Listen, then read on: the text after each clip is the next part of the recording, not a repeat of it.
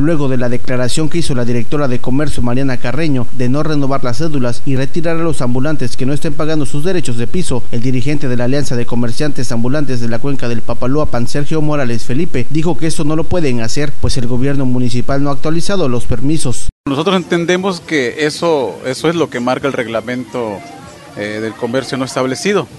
Sin embargo, para nosotros esa postura suena hasta un poco ilógica porque muchas veces el reglamento no, no, lo, no lo cumplen. Eh, sobre todo si ahorita nos ponemos a ver cuántos carretilleros han proliferado por toda la, la, ciudad, solapados por la Dirección de Comercio, y a ellos no les aplican el reglamento, ¿no? porque ellos sí están este, aportando su derecho de piso.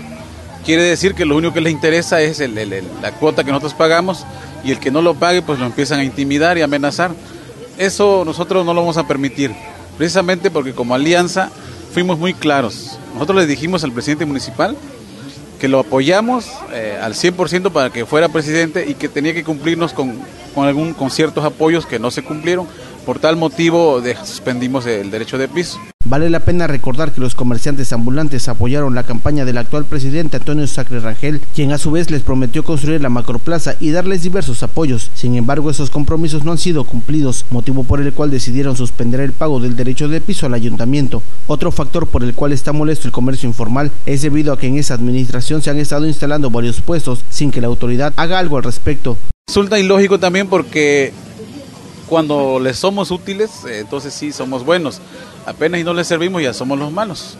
Eh, desgraciadamente para nosotros este, el hecho de estar en la vía pública no es porque, porque sea un gusto, es una necesidad que tenemos.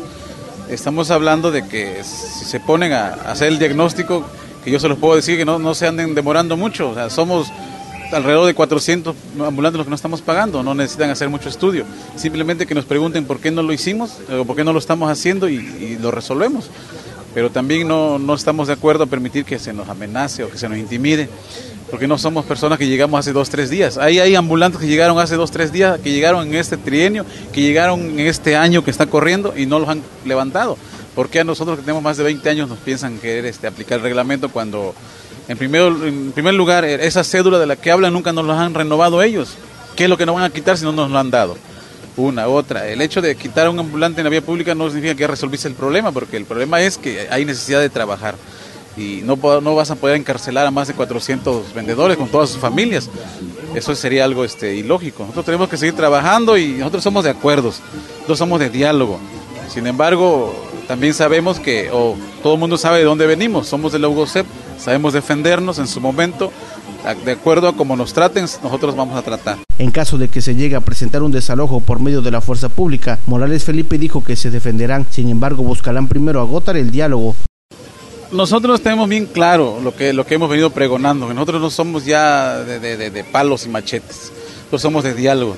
Pero también queremos decirle que no somos hermanas de la caridad para poner una mejilla y poner la otra.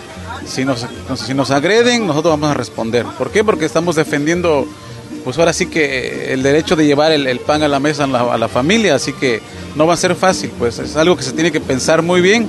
Si el presidente municipal quiere llevar a cabo una acción de esa naturaleza, tiene que pensarlo muy bien porque sería un conflicto social, no sería nada más de perjudicar a dos, tres personas. Con edición de Eric García informó Jorge Acevedo.